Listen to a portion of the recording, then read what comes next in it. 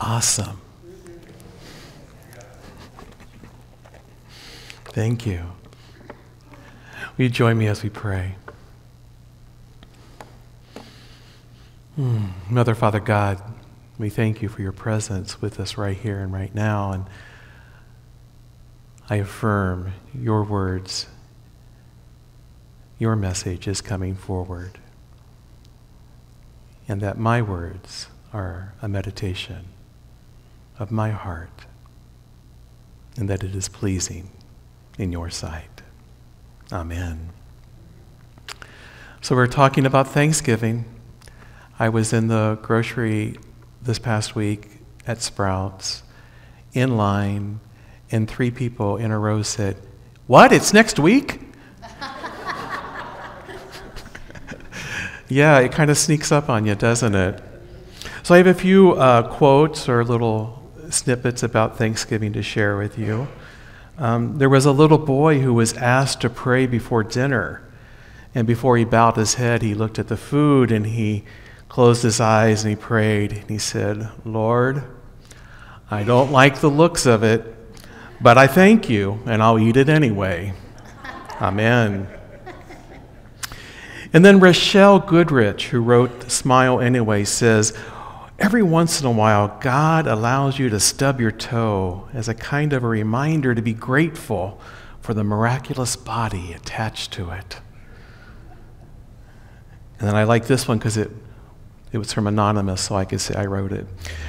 When asked if my cup is half full or half empty, my only response is that I'm thankful I have a cup. And then St. Paul says in Ephesians, Rejoice always, pray without ceasing, give thanks in all circumstances, for this is the will of God in Christ Jesus for you. So today we're going to talk about being grateful and being thankful in the dark places. Being grateful for the challenges in our lives. Because it's easy to show up on Sunday morning and be grateful for Sunday morning and to be grateful for the spirit that we celebrate. And it's really easy to be grateful when we're experiencing good health. And it's really great, really easy to be grateful when we sit around the Thanksgiving table and our whole family is there. Or when our loved ones are safe and happy. But sometimes we forget to be grateful when those things aren't there. We, we, in fact, sometimes we just take it for granted. And sometimes we get caught up in the tasks of life and the thoughts of love, thoughts of life, and we forget to be grateful. So the dictionary says that gratitude is the quality of being thankful, readiness to show appreciation for and to return kindness. And the definition for thanksgiving is the expression of gratitude, especially to God. And so that's what we come forward every year and we celebrate Thanksgiving and we thank God for our abundance and for the light and the love that we share in our relationships and for our health and for our wholeness. Charles Fillmore wrote in Revealing Word that thanksgiving is rendering our grateful thoughts to God for his manifold blessing. Surely goodness and loving kindness shall follow me all the days of my life. We give thanks that this is the truth. Thanksgiving will keep our heart fresh, for true thanksgiving may be likened to rain falling upon ready soil, refreshing it and increasing its protectiveness. I love that image. That as we're giving thanks, that we are replenishing the soil of our life, allowing things to grow, increasing its productiveness. Now, we talk about gratitude as a spiritual practice. And uh, this has become more and more common. Now we're even keeping, not even keeping, now we keep gratitude journals. And we're raising our consciousness and awareness about it. And we become mindful to be thankful and to say thank you and to give praise. And gratitude is part of our third principle. And our third principle in unity is that we create our experiences through our thinking. Everything that is made manifest begins in thought. And when we come forward with a grateful heart and grateful mind, and when gratitude and thanksgiving are the central themes, we manifest a prosperous attitude. And we focus on the wholeness and the healing of the world. Because gratitude and thank- thanksgiving foster a heightened sense of good and blessedness, and it fosters our faith in divine order.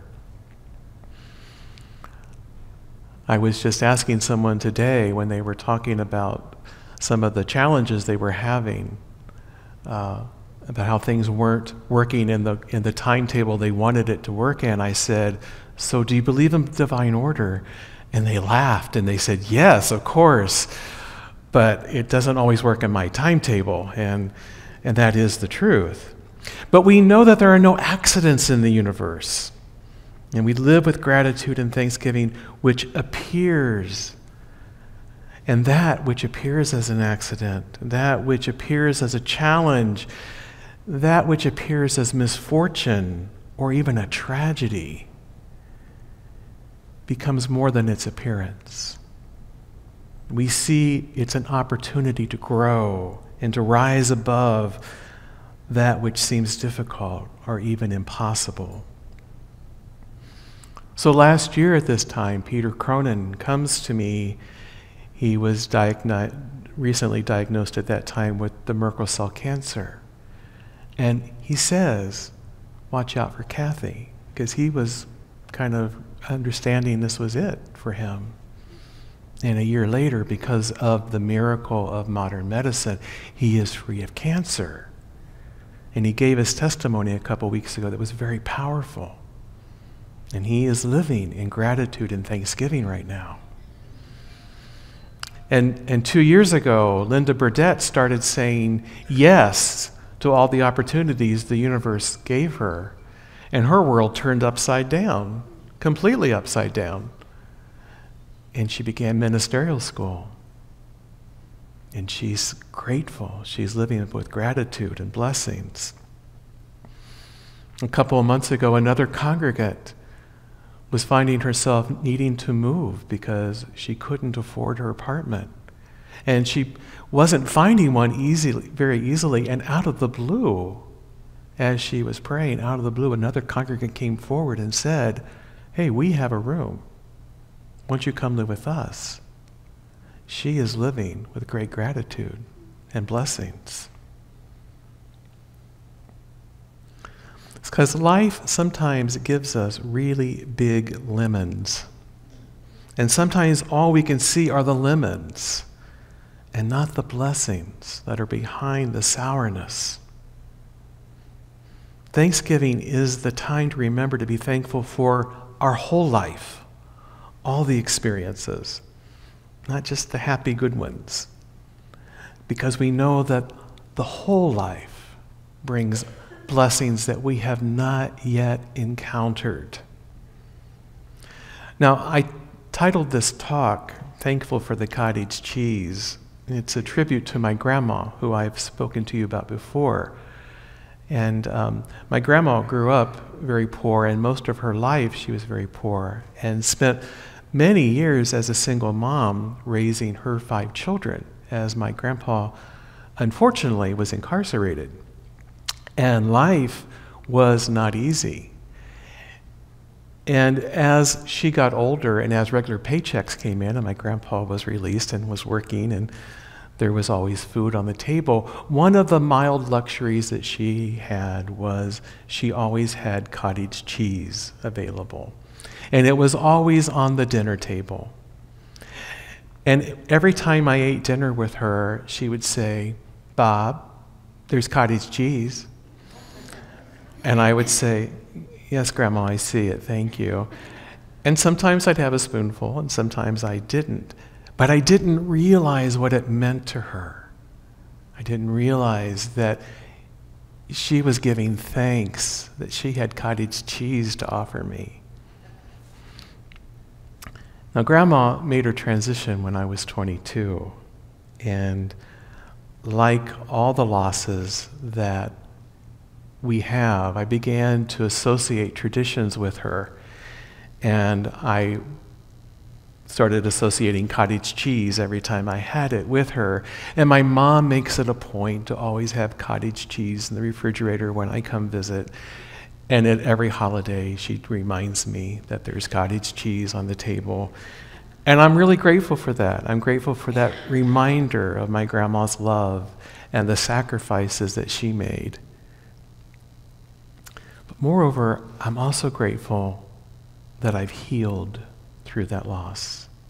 Because each loss that comes our way is an opportunity to heal. We never forget our parents or grandmas or children or anyone that we lose. We never forget them. But we learn to go on and to move on and to hold the love that they've given us through our traditions, through our holidays.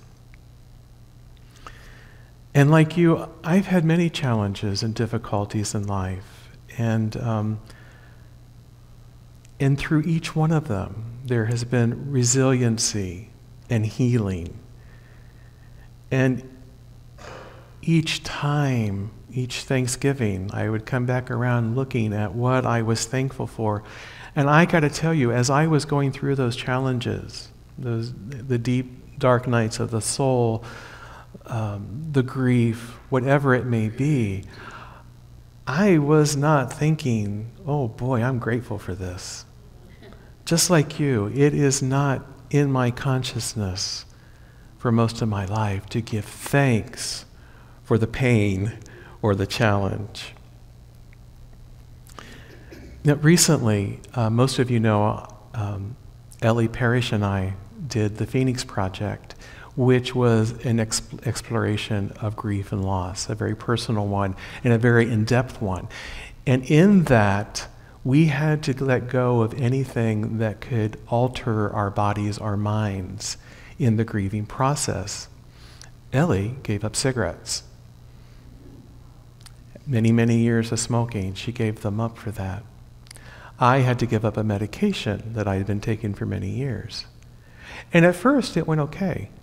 You know, I have this rhythmic structure of running and journaling and meditating and pounding and all kinds of stuff to, to work it out.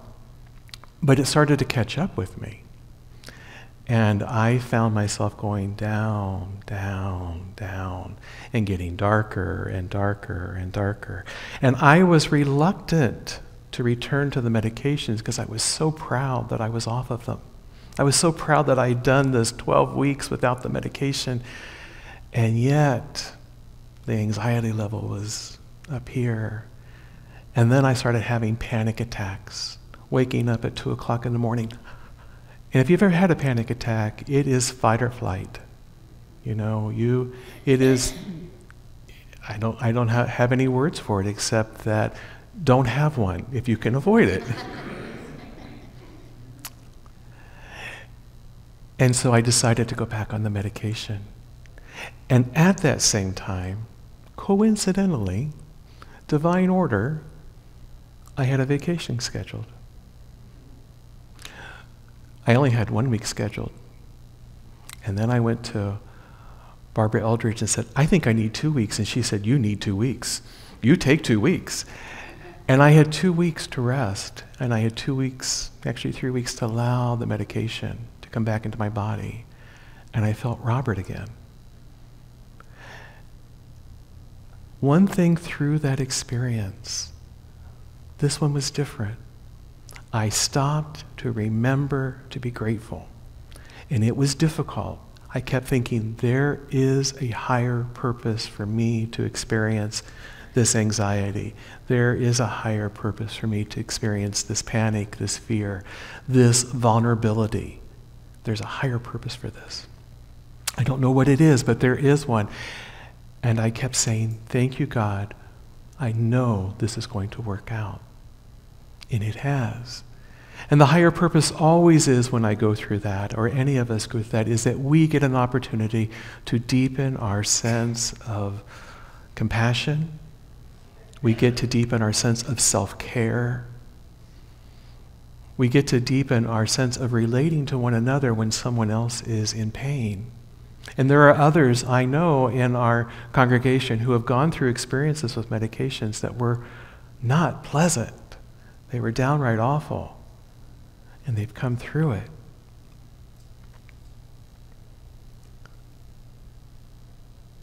So, a lot of people don't even know that there are treatments for those kind of things, but let you know that there are in case you're interested. And I'm grateful for, again, the advances of modern medicine, because that wasn't around 20, 30 years ago. And here we are today.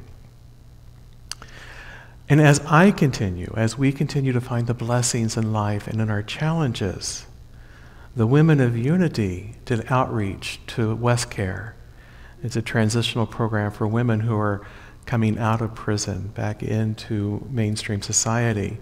And they have been giving, uh, uh, collecting clothes and travel bags for that.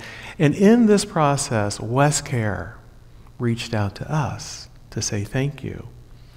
And I'm going to invite uh, Reverend Deb to come forward and share some of the notes that they have for her. Thank you. And I want to report that they are so grateful. 20 women are now working full time, and 27 are in school full time out of the 87.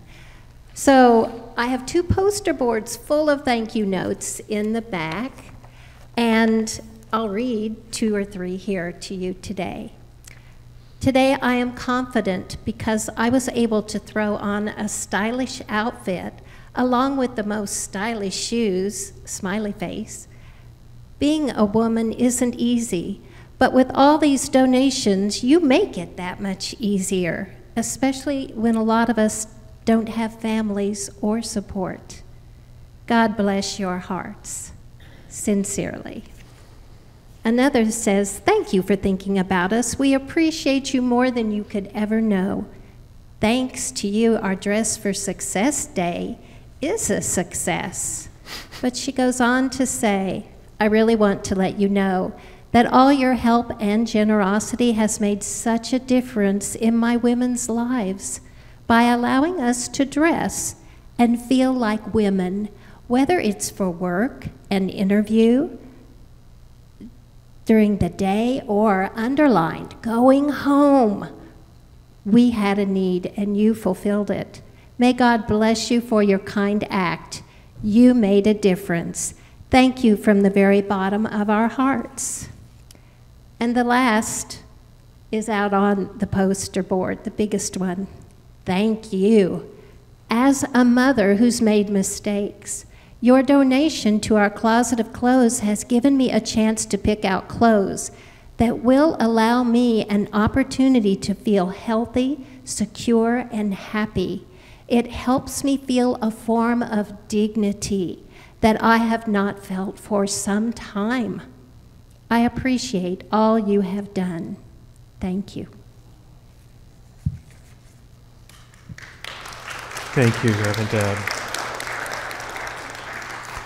So, as we enter this time of Thanksgiving, I invite you to look over the challenges that may be in your lives, big and small and to give thanks for the opportunity, A, to be alive to deal with it, and B, to know that there are bigger blessings that are coming behind this.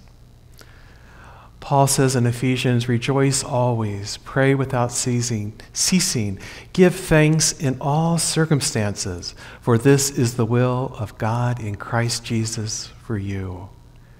And in James, my brothers and sisters, whenever you face trials of any kind, consider it nothing but joy, because you know that the testing of your faith produces endurance.